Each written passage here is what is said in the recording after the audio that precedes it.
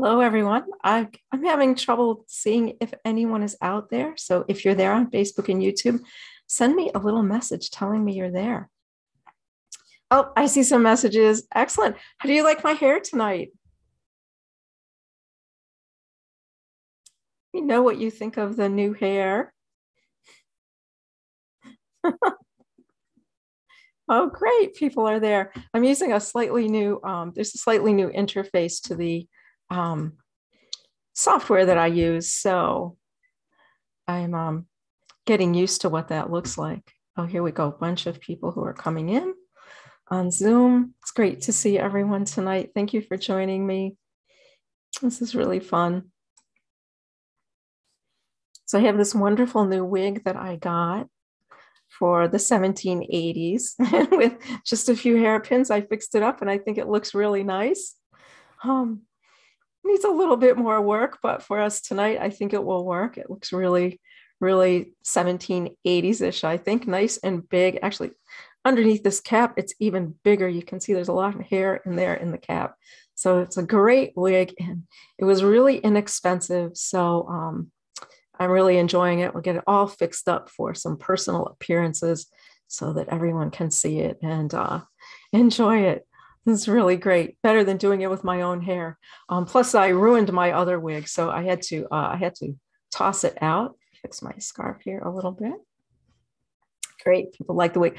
Well, I, I can't see how many people are watching. I can usually see, but as I said, they've changed this interface, and and I can't tell how many people are there. So I'll just guess that there's a bunch of you there and I'll continue.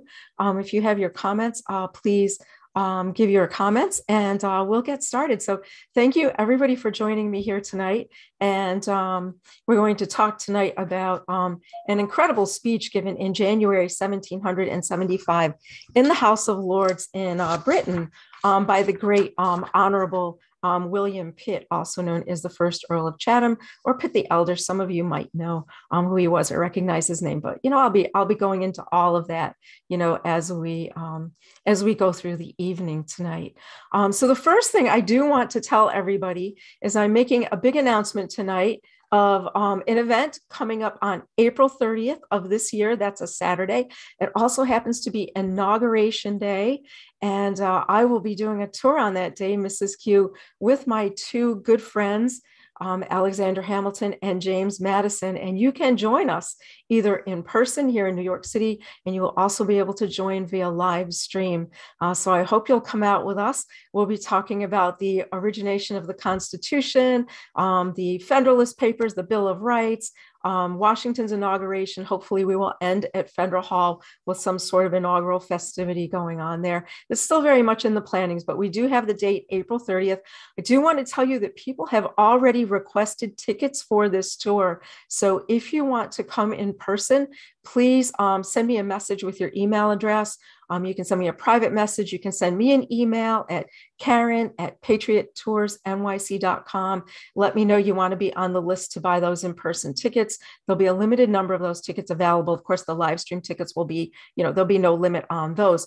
Also, there will be a very limited number of free admissions for anyone who would like to join us in full 18th century attire. And we were looking, we are looking for gentlemen and ladies who are interested in joining us on the tour in attire. So if you're interested in joining, let me know. Um, I think we'll probably have five or six of those tickets available. But this is going to be a really fantastic tour. Um, many of you have seen me working with Kyle Jenks as James Madison. And if you came on the evacuation day tour, you've seen me working with Scott McScott as Alexander Hamilton. And uh, so the three of us will be working together and uh, um, they'll be talking about their role in writing the Constitution and the Federalist Papers, the ratification, the Bill of Rights, Washington's inauguration. And Mrs. Q will be playing the um, provocateur, um, asking some rather difficult questions, as at that period in time, they are both in favor of the Constitution and someone has to take the uh, point of view that the Constitution may not be such a good thing. So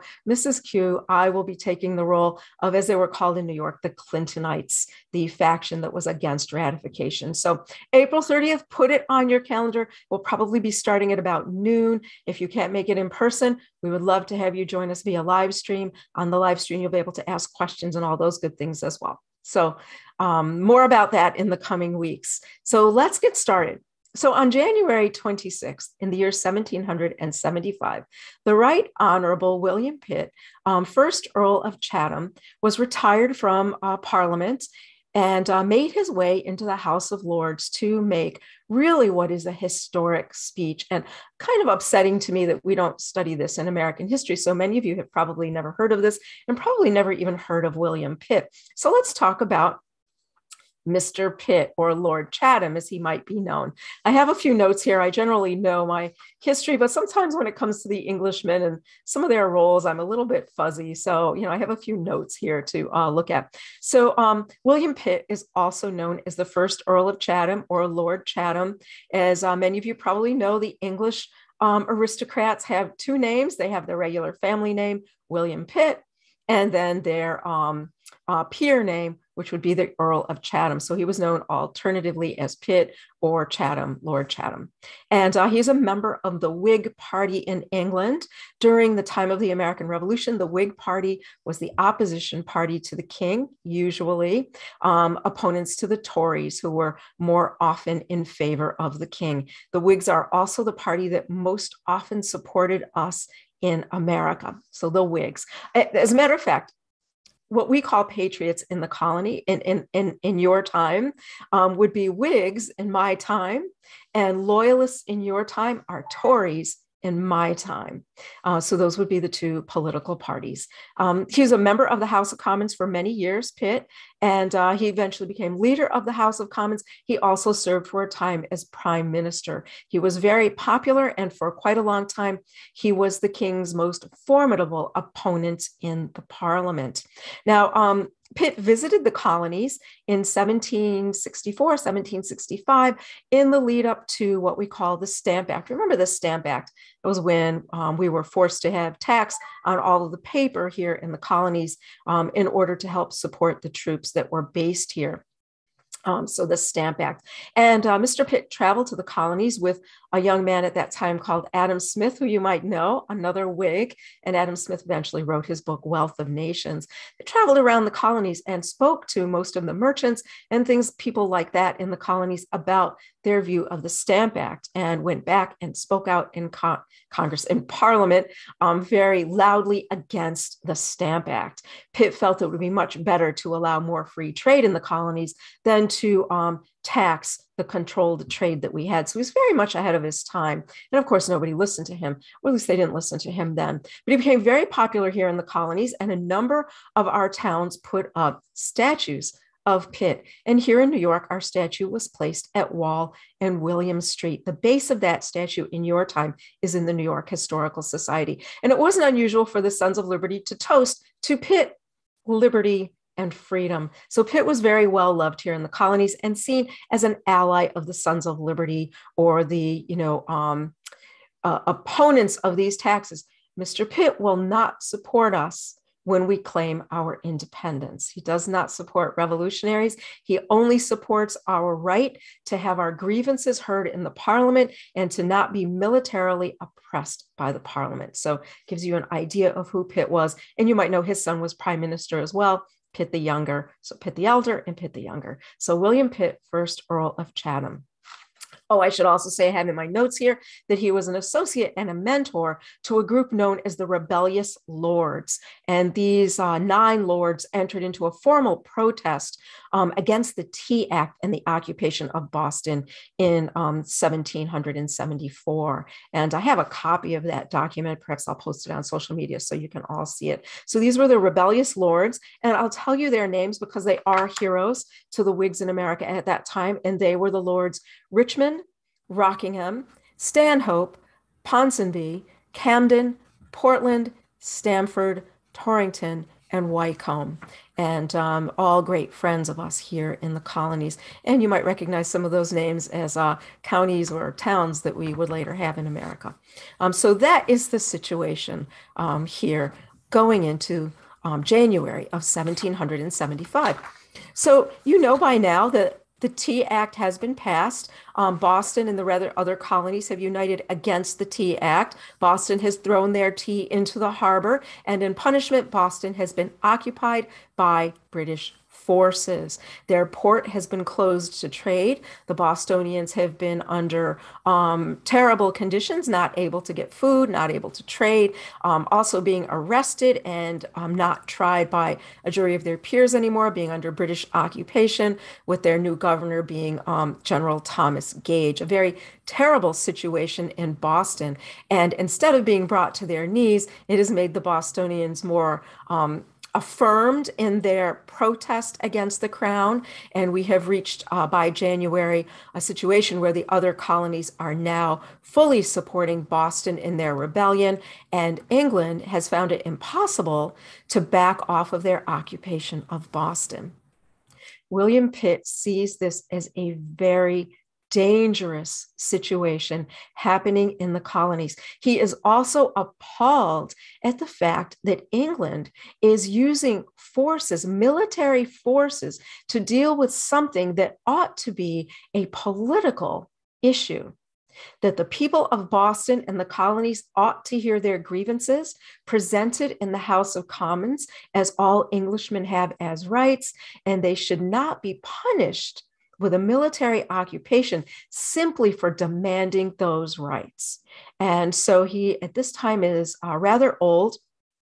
Um, Pitt is going to pass away in 1778, so he's rather old. Um, he also is sick from the gout, but he has made the trip into London to address the House of Lords on what he sees as this very dangerous impending situation in the colonies. And I have some highlighted things I'm going to read from the speech here, but I'm mostly just going to um, talk about it um, as I remember it. But there are a few co- quotes here that I think are really wonderful um, that, that you ought to um, hear. So Pitt says he's um, come in to you know address the house of lords and he says he's come in order to open the way towards a happy settlement of the dangerous troubles in america by for preventing, in the meantime, any sudden and fatal catastrophe at Boston, now suffering under the daily irritation of an army before their eyes posted in their town. Pitt sees this as very dangerous to have a military occupation of British subjects, which the people of Boston are. And he says, My lords. He says he is really shocked that it has come to this. He says it has taken so long for you to address this situation in the colonies, that you have allowed it to proceed to such a dangerous point where there are, I think he says, 17,000 troops in the city of Boston. He says this is this is not an acceptable way for England, the land of Magna Carta, the British Constitution, the British Bill of Rights, the limited monarchy, and the representation of people in their parliament to deal with their own.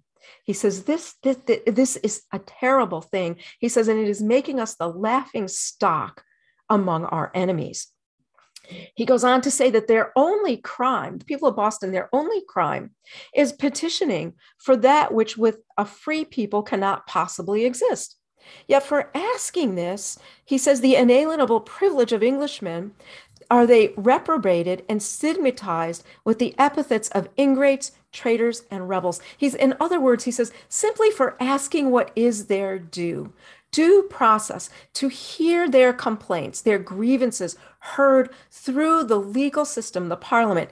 They've been called awful names traitors, ingrates, and rebels.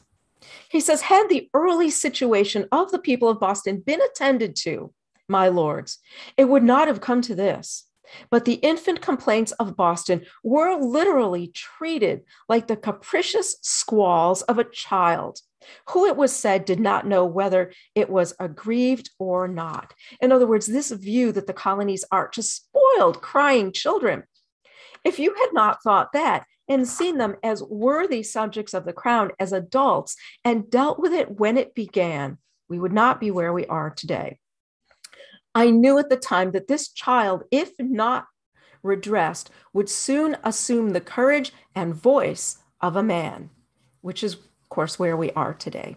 And he goes on to talk about how the Bostonians, you know, didn't complain about something light or temporary. They complained about something legitimate. Thousands of troops being housed in their town at their expense their civilian government, which had been in place since their charter was granted more than 100 years ago, removed, and them denied a trial of their peers being tried now in courts of admiralty, and that they no longer even elect, you know, their representatives, that they are under military law. He says this isn't a small thing for them to complain about. This is at the heart of English liberties. Excuse me, I'm, all itchy tonight. Please excuse me. I don't mean to be rude. Whoa. I'm just, I think it's maybe some of the hairs coming out of my wig, to be honest. It's a little bit itchy, excuse me. Um, he says this is not a light thing for them to complain about. This is a serious, serious grievance and a legitimate one. So he goes on to speak a little bit more. And um, he says that, you know, you've said that these views coming from Boston are just from, you know, um, um, low lives. He says, but not from sober, respectable, dispassionate men.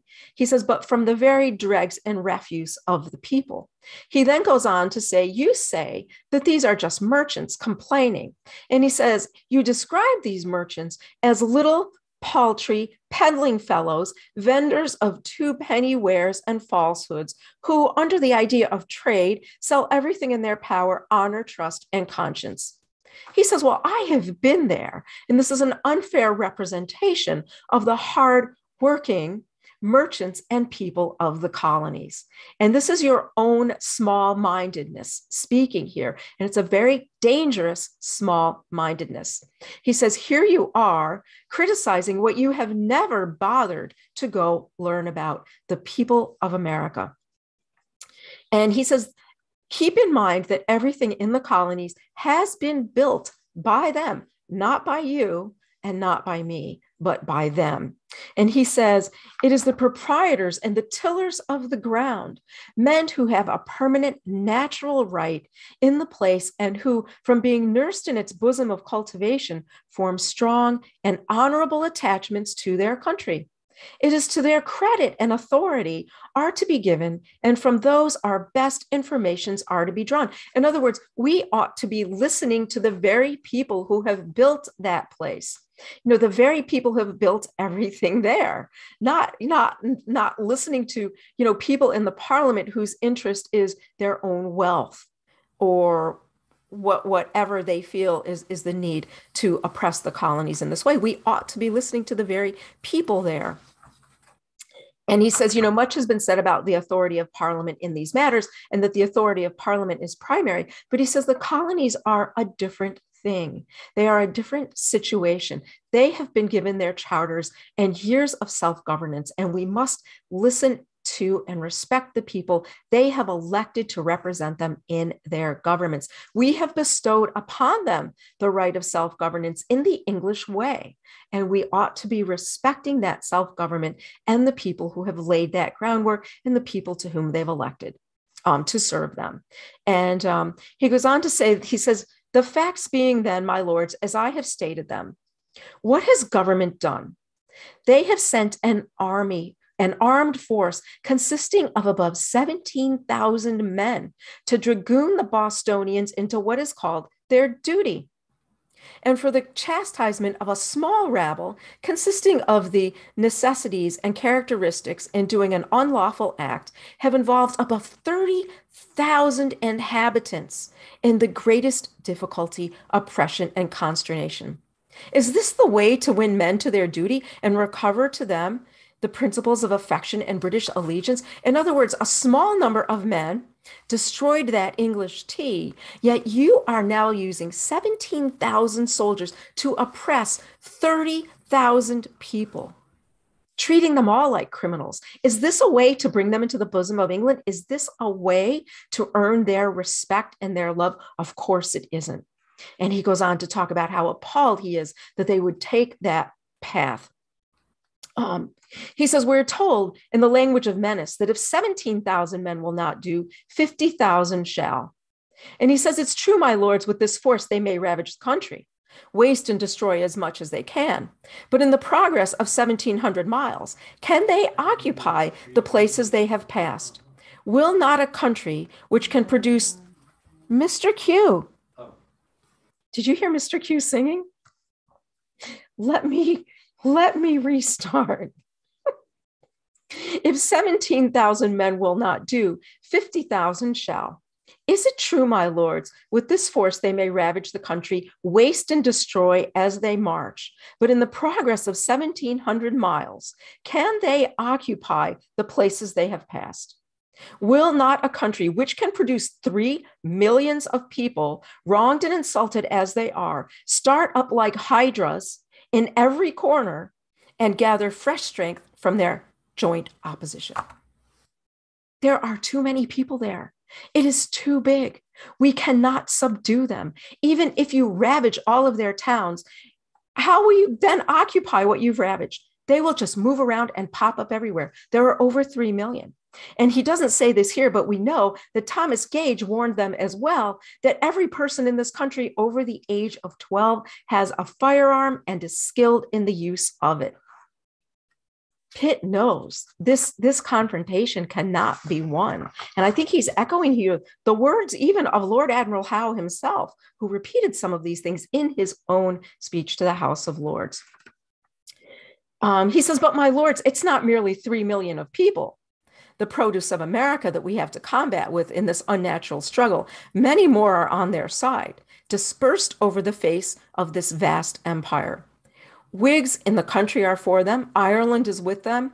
And may even those Englishmen who may now be temporarily inactive will once come, will, will come to support them. In other words, when people understand the cost, both in manpower and in money, and that the average people are not going to benefit from this war at all, more and more people here will support them. And you know, of course, our enemies everywhere will support them.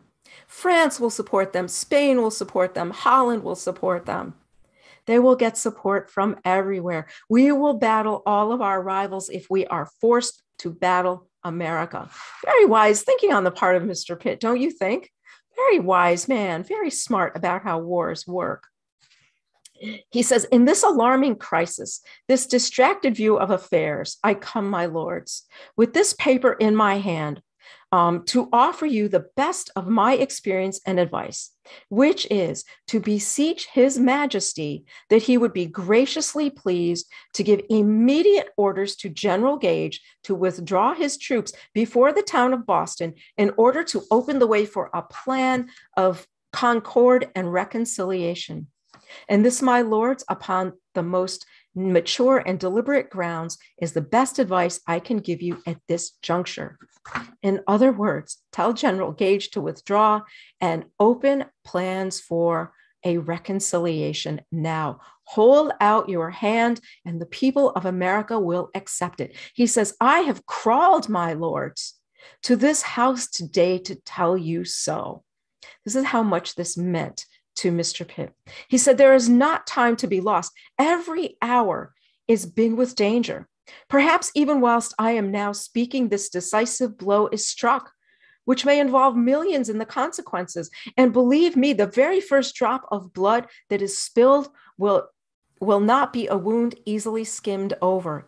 It will be a wound that rancor a, a, wound i'm sorry a wound of that rancorous and festering kind that in all probability will mortify the whole body. In other words the first shot will be mortal. There will be no going back from it. And this is his warning from mr pitt. He also says that in the course of this we will lose the colonies the very jewel of the british crown. Without it the crown will not be worth wearing so, some very interesting words from William Pitt about war. Entering into a war that the people will not see benefit them. And this was echoed by other Whigs in the parliament at the time that the people of England would see this war as, as a war of vanity for the lords and the aristocrats and not benefiting them in any way. And why should their sons and fathers and brothers and husbands go to die in it? A war so expensive that their children and grandchildren and later generations will be forced to pay for it. He said it will quickly lose its luster. And uh, Mr. Adam Smith warned about these very things, as well as you know that he wrote about um, what we call economics at the time, economics, or what you call economics in your time, excuse me. So Mr. Um, Adam Smith was going to talk about the financial burdens of such a war. And of course, clearly, that England will be fighting France, Spain, and Holland as well, and some other, you know, enemies from around the world that will engage and help the colonies. Um, Pitt says this is a terrible thing to enter into. We cannot win. We will certainly lose. He does close his speech by saying, these are my beliefs as long as the Americans are willing to reach out in conciliation. If they, de- if they declare themselves separate from us, I no longer am their champion as I cannot support separation from England. And uh, he ended his speech and he went home. And I think you know the rest of the story, don't you? It wasn't until very shortly after that that that mortal wound happened. Um, April 15th, April 19th, 1775, the shot at Lexington and Concord, known, that would become known as the shot heard round the world, the shot from which there was no return. So I wonder what some of you think of William Pitt's warnings about unnecessary war, um, wars that are fought not in the interest of the people of the nation and their prosperity um, or their future, but are fought in the interest of an aristocracy um, an aristocracy only doing it for their own vanity and what they believe will be their own success, you know, financial success and interest, and a war that also will have to be paid for um, for many generations into the future. So I wonder what you in your time think about that. Very wise words from William Pitt. And, you know, uh, all of his words came true when the colonies declared our independence. Uh, Mr. Pitt was um, truly heartbroken at that event. And um, as I mentioned, he passed away in 1778, never seeing the end of the war, but suspecting um, that the colonies would be triumphant. You know that Pitt, at one time, not in this speech, um, but in another speech to the House of Lords, he said, The colonies one day will have this world. They will have it as a part of England or separate from it, but they will have this world. He said, the colonies will rule we cannot stop that from happening. So we must embrace the colonies as being bigger than us, more powerful than us, and more financially successful than us one day. And we will either have the world with them or they will have the world without us. So um, many, many years ahead of his time, Mr. Pitt, a great man and a true friend to the colonies. So if you're in a museum sometime and you see a painting or a statue of William Pitt, I think the statue of Pitt is in a museum in Charleston, South Carolina, as well as the New York Historical Society, and you see William Pitt, Pitt the Elder, or Earl of Chatham, I hope you'll remember that he was a good friend of ours and um, spoke out bravely and loudly on our behalf you know, his view being that this was an absolute shame to England, to Magna Carta, to the rights of man, to the common law, to the British Constitution, to the Parliament, and to um, the British Bill of Rights to treat British subjects in such a horrific manner is to use force to make them agree with you. And of course, you know that we went on to create something a bit better, um, something called the United States Constitution, um, which uh, supplanted Britain. And I believe, of course, I'm a New Yorker, that that was a far better document than anything Britain had produced before us. And am working very hard with my friends, Mr. Hamilton and um, Mr. Madison, to present for you um, a view of how all that came about. And to give you another little hint, Mr. Hamilton and Mr. Madison will be joining us one night on a Mrs. Q Live. So I'll be telling you when that will be coming up as well. So, do you have any questions or comments about my presentation tonight um, that I can answer for you? You know, I hope you've enjoyed it. Um, over here, you know, behind me, I do have a green screen, and um, this is the um, Haver Haverhill room, Haverhill room in the Metropolitan Museum of Art. But this that you're seeing here that blends in so nicely with the room is some of my own fabric um, which I will be using to make a brand new silk dress that I will be wearing on that April 30th tour. So I hope you'll come or watch or join us just so you can see the lovely dress I will be making um, with this silk. And as you can see, it is very um, period correct and that it blends in quite beautifully um, with the background behind me. I wonder if any of you um, even noticed that this fabric was draped on a chair here next to me and was not part of um, the scenery behind me.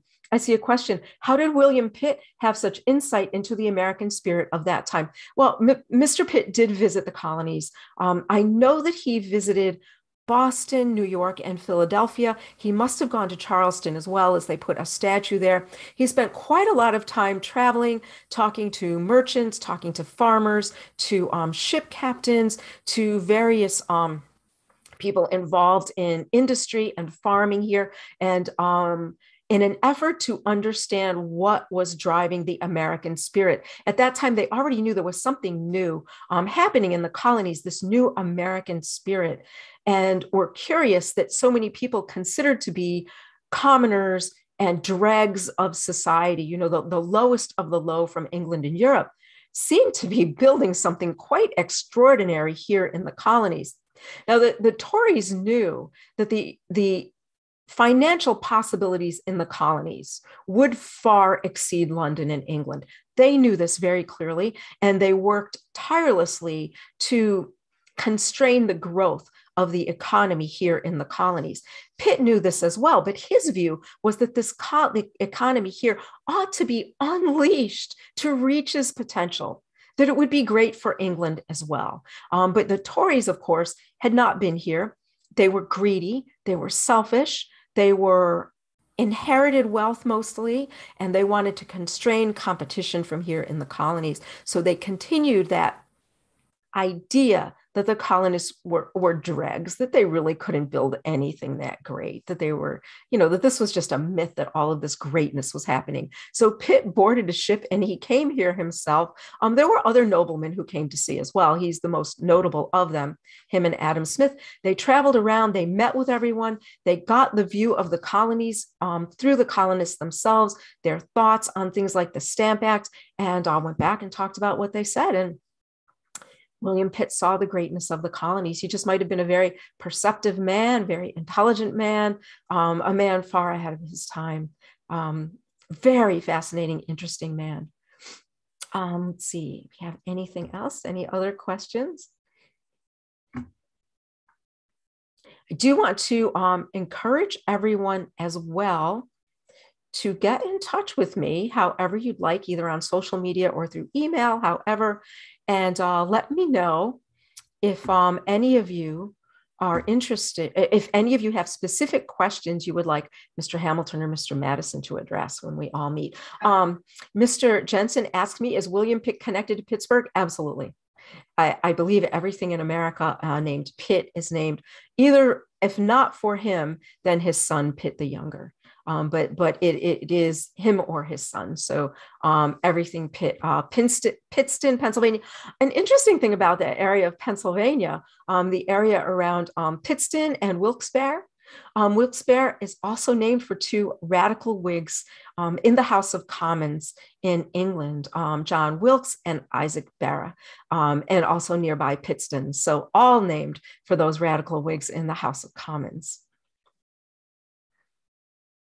Um, somebody tells me the Fort Ticonderoga reenactment of the snowshoes battle, end of February. We will be there. Sir, please send me detailed information about that reenactment. I will be very happy, Mr. Q and I, to come up and meet you and for me to record some video there. Um, so please send me information about that. I would very much like to come, as I know Mr. Q would like to come as well, and I will promote that too. Um, uh, Mrs. McCabe tells me, um, I thought that lovely fabric was part of the room behind you. Thank you. It shows my good judgment occasionally shines through. and she says, regarding Mr. Pitt's speech, excellent. There is nothing new under the sun. True, my friend, very true. Um, from my cousin, Mrs. Patterson, Um, is there a relationship between John Wilkes and John Wilkes Booth? John Wilkes Booth undoubtedly was named for John Wilkes. Um, John Wilkes was a big hero to the patriots in America. Um, they toasted to him. Um, Alexander McDougall in New York was known as the Wilkes of the colonies. Um, John Wilkes went to jail for a brief time for publishing work in London that um, oh, lampooned the aristocracy and the king. He went to jail briefly for, for printing it, but he was a very smart gentleman and he pointed to a little loophole in the law that said that members of uh, parliament could not be jailed for what they published or what they said, and they had to release him. Uh, so yes, John Wilkes Booth, it's my guess, was named for John Wilkes, um, as he was uh, very, he was a hugely popular among the patriots in America. Um, Ms. Fano says, I am gorgeous. Thank you so much for the compliment. The wig is not quite there. It needs a little bit of work, but for something Shall I tell you how much I paid for it? Only $25. and right out of the bag with just a few hairpins. Not bad. Um, once I've had a chance to do a little bit more with it, I think it will be superb. And, you know, it, it saves me from having to uh, curl one of my more expensive wigs. Um, it looks better than my expensive wigs. Enough of that. Um, Ms. Kozlowski says she noticed the fabric and glad it will become my new fashion accoutrement. Yes, it will. I'm going to make um I'm going to make a gown that's known as a zone front gown. Some of you might know that. The front will come in a diagonal like this, and then there'll be another diagonal, straight diagonal piece, and the stripes on the top are going to run this way and the stripes in the middle I think will run vertically. I think it'll be quite beautiful with a full skirt. And let me know, let me know, do you think I should make the petticoat, the underskirt out of this? Or should I make it out of a complementary silk color? Let me know um, what you think would look best. I could make a petticoat out of, you know, the green. Well, I already have a green one think of another color, um, maybe a beige or a pink petticoat. Or for those of you who are better at color and art than I am, I am not very good at this. Maybe, you know, a complementary color that I'm not even aware of that would go with these. Um, let me know your thoughts on that. What I should maybe make the petticoat out of if you have another, you know, um, color idea. Um, let's see. Someone tells me, edit Mrs. Q. Oh, let's see. Um, oh, Liberty Seeker says on YouTube that I should check out the Fort Ticonderoga website. They have the dates for the reenactments. Sir, I will do exactly that. And um, I will plan to be there as Mrs. Q. In my winter, I'm wearing my winter quilted jacket with some modern, modern um, long underwear under it, but we won't tell anyone.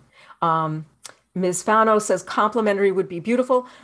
I agree, but I'll tell you, I have no artistic or color matching ability. It is simply by blind luck that this fabric matches the room behind me. I could never have done that um, purposefully. So if you, if someone would like to send me a color swatch, post swatch, um, post it or email it to me, um, I, I would be very grateful because I, I surely cannot pick a complementary color for this. And I, I might also you know, need a color for a silk hat. So another complementary color. I don't think my blue one will go with that.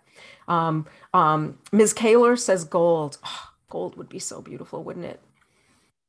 Maybe a slight gold color shifting silk. The color shifting silks were so popular in the 1780s. Maybe a, a, a gold to copper color shifting silk, if I can find one. Of course, I can find one. Um, or a sage. Ms. Fano says a sage. Oh, another lovely color, right? So thank you for your um, suggestions. I will tell you before I can make this, I have to make a new set of stays, and I will be documenting that on Facebook and YouTube. I'm hoping to start the project tomorrow, and um, maybe we'll even show you fitting them to me if those are, that isn't too risque. I don't know, but I might show some video or pictures of me learning how to fit them properly because the ones I'm wearing look okay, but they don't fit me properly. And if I make a silk gown like this, it won't hang properly. So I need to fix the stays. And um, so thank you all for tuning in tonight and for helping me out with my various projects. Please remember Mr. Pitt as a great friend to America. Oh, Mr. Jensen wants to know Was England in debt for many years after the Revolutionary War? You might know, Mr. Jensen, that England was deeply in debt at the start of the Revolutionary War. They were already in a situation of near financial collapse. And just prior to the outbreak of the war, the Prime Minister, Lord North, had begun to reduce the size of the Navy, the Royal Navy. Um, so England was in dire trouble even before the Revolutionary War. So yes, it was uh, it was a disaster for England, the Revolutionary War, in, in many ways. Um, from YouTube, which territory did England receive in the Treaty of Paris? I do not know. So, if someone knows the answer to that question, I do not know. I know that the treaty at the end of the French and Indian War, they received some lands in Canada and what is today around Louisiana. Um, some people wanted to give them the entire frontier um, west of the Mississippi, which wouldn't have worked, but I'm not sure which territory English got at the, at the Treaty of Paris. If somebody knows the answer to that question, please, you know, let me know. Um, thank you, Mrs. McCabe. Good night to you and Mr. McCabe. Good night to everyone. And I will see you next week. And hopefully, in a week or two, we'll be joined um, by Mr. Hamilton and Mr. Madison. Um, a fun night for all that will be. Thank you so much. Have a wonderful week and a healthy week. And I will see you again next week. Good night, everyone.